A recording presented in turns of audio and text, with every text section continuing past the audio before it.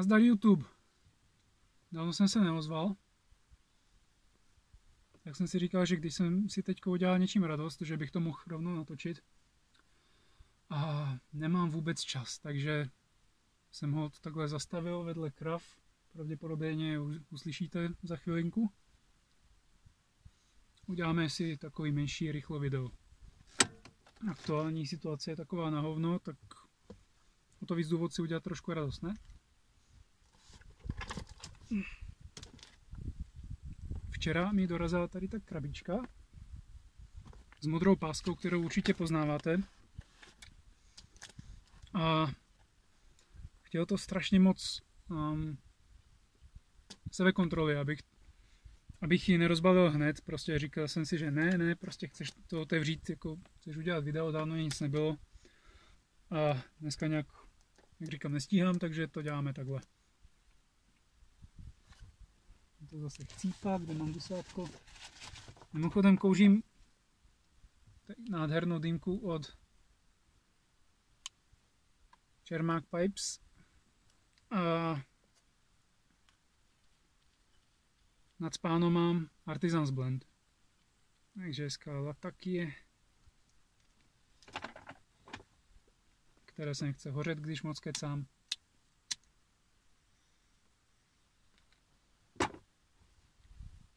A pojďme na to.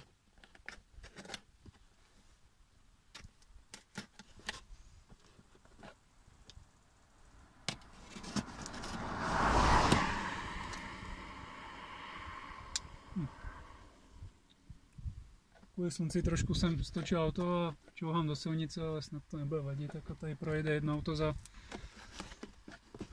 20 minut. Jestli vůbec.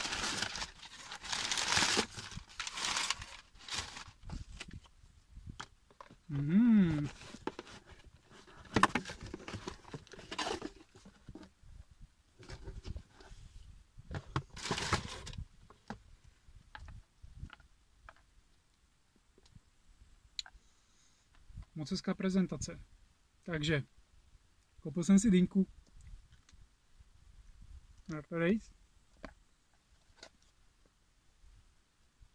Dark Ale tuhle dýmku někdo dával, myslím, na Facebook, že ji má a já jsem na, na jako mně se hrozně moc zalíbila, takže jsem po ní další dobu na netrafice šilhal. Um, za chvilku uvidíte, co to je zač. Jeden takový hodně povrchní důvod, ale je tady ten jejich symbol, protože No se bude vidět.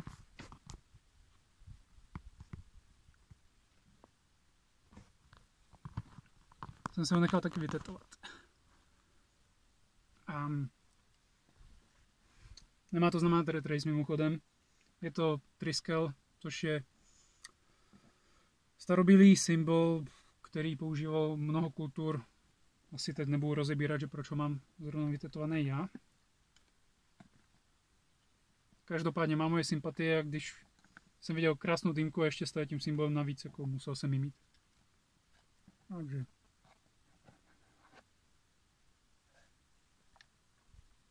Vevnitř máme certifikát.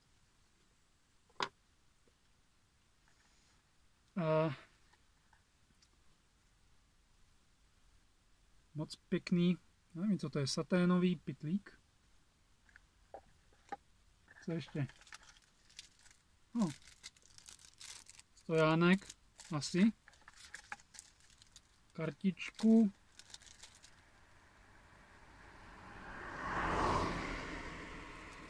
Nějaký bábo. To pauzněte, když tak. Nějaká brožura. Hm. V Němčině. A Anglické taky. No to je hezký. Tady mám návod, jak kouřit dýmku. To si pak přečtu schválně. Tak. A jdem na to.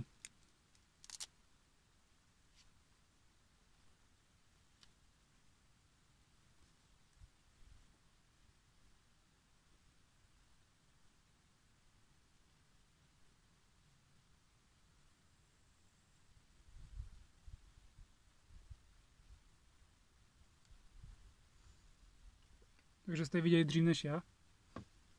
To je tady nějaký světlo.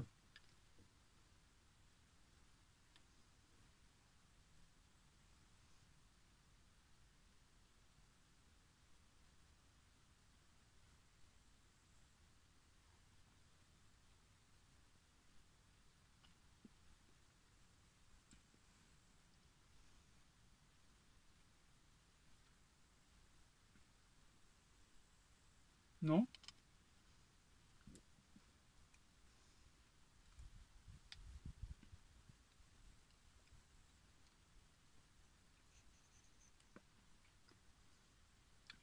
Maximální spokojenost.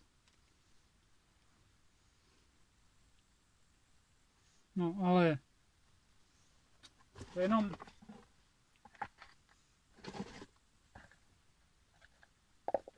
to ještě video nekončí. Protože, když už jsem na té trafice jednou byl, vlastně si to tam ta prohlížel, tak jsem si objednal ještě jednu dýmku, teda zase mi to nějaký podezřele lehký, takže doufám, že to je ono. Tohle už má tak hezkou krabičku. No, Byla to řada super cena, nebo já nevím, jak se to přesně jmenovalo, takže jakoby tohle balení už není tak luxusní, nicméně stála polovinu toho, co ta první a ještě um, v podstatě za nějakých 1200 korun a byl to tvar, který už taky po něm další dobu šilhám, ne konkrétně od Rat Race, ale když jsem ji tam viděl, tak jsem ji tam nemohl nechat.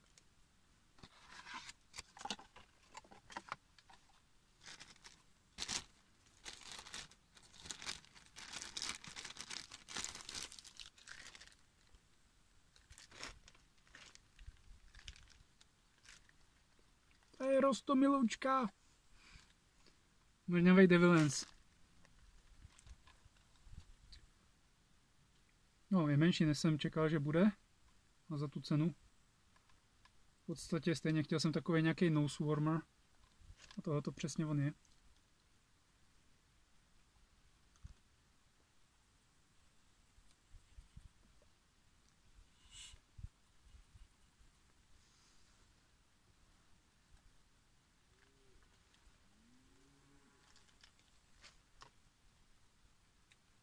Aha.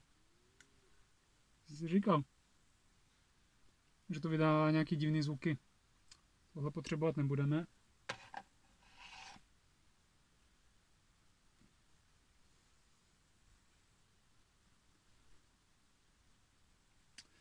Jo, good deal. Takže jakoby dobrá koupě. Řada. A já myslím, že jo, ono. Je to něčím vymazaný vrtání je v pořádku. Takový kotlíček. Maximální spokojenost. Jsem zvědavý, jak se z nich bude kouřit.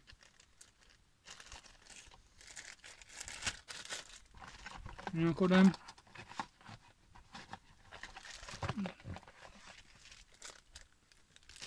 taky linka s certifikátem.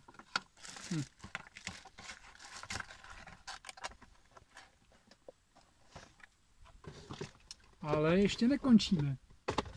Vzhledem tomu, že jsem si koupil dvě Red Race linky, tak se mi zdalo vhodné si koupit taky nějaký tabák.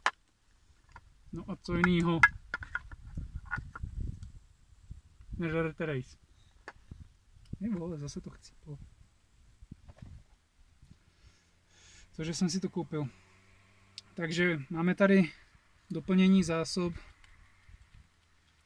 rudýho lva Red Lion, který jsem dělal recenzi posledně. Dále tady máme Wallace Flake, což by měl být teoreticky, oni tomu říkají, na, náhrada hmm, University Flakeu. S tím úplně nesouhlasím, stejně jako nesouhlasím, že ten Red Lion je náhrada Old W, nicméně je to tabák s podobným složením, podobně dobrý kvality, Kuťový profil je trošku jiný, není to prostě to samý, ale je to moc dobrý. Takže jako jestli vám chutnal, uh, jestli vám chutnají Kentucky Flakey nějaký, tak rozhodně doporučuju. Tak pak tady máme ještě Sterling Flake.